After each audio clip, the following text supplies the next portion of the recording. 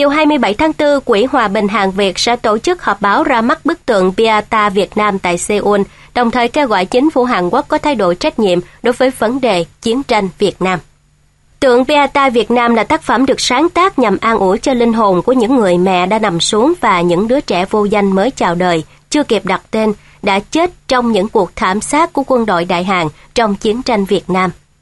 Đó là hình ảnh một người phụ nữ đang ôm vào lòng đứa con bé bỏng thơ dại, mắt khép hờ như sắp chìm vào giấc ngủ. Đứa bé đang nắm tròn hai bàn tay mềm yếu và nhỏ bé hơn rất nhiều so với cái đầu của mình.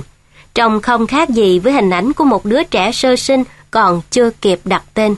Tay mềm mại đỡ lấy đầu đứa con, vẻ mặt người phụ nữ trông vừa như yên bình, lại vừa như buồn lặng. Tên chính thức của tác phẩm này là Biata Việt Nam, tên tiếng Việt là Lời ru cuối cùng. Trong tiếng Ý, piata có nghĩa là nỗi buồn, bi thương. Tác phẩm này được Kim Seong Kyung và Kim Eun Sung phát thảo. Kim Seong Kyung và Kim Eun Sung cũng là tác giả của tượng thiếu nữ hòa bình. Tác phẩm tưởng nhớ đến những nạn nhân với tuổi thanh xuân bị dài xéo nát tan khi bị bắt làm nô lệ tình dục cho quân đội Nhật trong Thế chiến thứ hai. Tượng Beata có tỷ lệ chiều rộng chiều sâu đều là 70cm, chiều cao là 150cm, trọng lượng gần 150 kg, đúc bằng chất liệu đồng. Chỉ riêng phần chân đá để tôn bức tượng cũng có trọng lượng sắp xỉ 450 kg. Quỹ ban xúc tiến thành lập Quỹ Hòa bình Hàn Việt có kế hoạch xây dựng tượng này ở cả hai phía Hàn Quốc và Việt Nam. Trong năm nay, nhân dịp lễ tưởng niệm 50 năm sẽ ra thảm sát thường dân trong chiến tranh Việt Nam, Hiện quỹ đang tổ chức vận động kêu gọi quyên góp từ xã hội, bao gồm cả hoạt động giáo dục hòa bình để hỗ trợ cho việc chế tác và dựng tượng. Qua nhiều lần sang thăm Việt Nam, được nghe những câu chuyện về rất nhiều trẻ thơ miệng còn thơm mùi sữa đã phải chết dưới tay quân đội Đại Hàn trong chiến tranh Việt Nam. Đau đớn ruột gan khi tưởng tượng đến những tiếng kêu và hình ảnh kinh hoàng đó, Kim Seon Kyung, Kim Yeon Sung đã quyết định thực hiện một bức điêu khắc dành cho những số phận này, những đứa trẻ sơ sinh còn chưa kịp được đặt tên, những đứa trẻ vô danh. Những đứa trẻ còn chưa kịp biết về một bầu trời xanh ngăn ngắt, về giọt sương trong suốt long lanh có trên thế giới này đã phải đón nhận cái chết trong súng đạn mịt mù, trong đau đớn khôn cùng với một tấm thân nhỏ bé vô hại. Beata Việt Nam là giải pháp mà vợ chồng nghệ sĩ này đã lựa chọn để an ủi, cầu nguyện cho những linh hồn này và cũng là để ngân lên một khúc hát ru cuối cùng vỗ về cho linh hồn những đứa trẻ được ngủ thật sâu, thật ngoan ở một thế giới bình yên không còn đau đớn. Và dĩ nhiên, tác phẩm cũng truyền tải thông điệp về một lời xin lỗi, sự ăn năn hối cải chân thành đến những thường dân Việt Nam mà cho đến nay chính phủ Hàn Quốc vẫn chưa thực hiện được. Người phụ nữ đang ôm đứa trẻ vừa hiện thân như một người mẹ hiến tặng cho đời một sinh mệnh thiêng liêng, nhưng cuối cùng đã đánh mất đi đứa con yêu quý giữa phong ba bão táp cuộc đời và cũng là người mẹ xả thân để cứu sống sinh linh nhỏ bé như người mẹ đã ôm con vào lòng cứu sống sinh mệnh của đứa con 6 tháng tuổi ở Đoàn Nghĩa, xã Bình Hòa, huyện Bình Sơn, tỉnh Quảng Ngãi, Việt Nam vào tháng 12 năm 1966. Một tác phẩm nghệ thuật đơn lẻ sẽ không thể làm thay đổi thế giới, thế nhưng nhiều tác phẩm nghệ thuật cùng nhau sẽ tạo ra sức mạnh vượt qua lý tính để cảm hóa lòng người. Tác phẩm Beata Việt Nam được sáng tác vì một tương lai hòa bình của Việt Nam và Hàn Quốc, một lần nữa lại gọi cho chúng ta nghe tên của bao nhiêu sinh mệnh chưa kịp thốt lên lời, đã bị cuốn phăng đi trong vòng xoáy tàn bạo của lịch sử. Người Hàn Quốc lên tiếng đòi công bằng cho nạn nhân chiến tranh Việt Nam.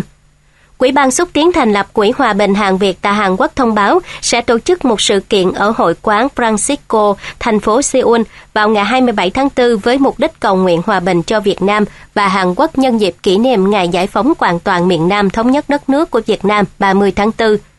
Nội dung của sự kiện được nêu rất rõ trong khẩu hiệu là vì lời xin lỗi cho Việt Nam, vì chính nghĩa cho thế hệ tương lai, vì hòa bình cho châu Á. Trao đổi với tuổi trẻ, An Kwon hien Woo, thư ký Quỹ ban xúc tiến thành lập Quỹ Hòa bình Hàn Việt cho biết, tại sự kiện này, Quỹ ban sẽ đọc bản tuyên bố yêu cầu chính phủ Hàn Quốc có một thái độ trách nhiệm đối với các tội ác do binh lính Đại Hàn gây ra trong thời kỳ chiến tranh Việt Nam. Những sự kiện này vốn bị quên lãng một thời gian dài và chỉ được truyền thông Hàn Quốc công bố vào đầu những năm 2000 qua lời kể của các cựu binh Hàn Quốc từng tham chiến tại Việt Nam.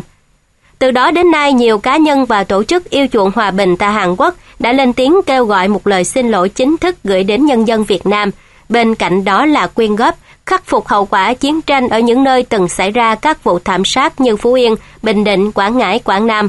Anh Kwon Hyun-woo nhận định có thể sẽ cần một thời gian để chính phủ Hàn Quốc có một hành động cụ thể. Hiện nay, xã hội Hàn Quốc đã khác ngày xưa, một số tờ báo có khuynh hướng bảo thủ cũng đã đề cập đến cuộc chiến Việt Nam, nên khả năng có hành động trong tương lai là hoàn toàn có thể, anh Wu giải thích. Được vận động thành lập từ ngày 14 tháng 9 2015, Quỹ Hòa bình Hàn Việt ban đầu bao gồm 68 nhân sĩ trí thức Hàn Quốc là các giáo sư, đạo diễn, linh mục, thiền sư, có chung mục đích là cùng xây dựng một tổ chức hòa bình bằng những kinh nghiệm rút ra từ chiến tranh Việt Nam. Những hoạt động của quỹ bao gồm nỗ lực hàn gắn những vết thương chiến tranh mà Hàn Quốc và Việt Nam đã chịu đựng, thực hiện giáo dục hòa bình cho thế hệ tương lai với thế giới quan lịch sử đúng đắn, hoạt động nghiên cứu, xuất bản, lưu trữ liên quan đến chiến tranh Việt Nam, thúc đẩy hòa bình, hòa giải hợp tác thông qua hoạt động giao lưu văn hóa nghệ thuật Hàn Việt,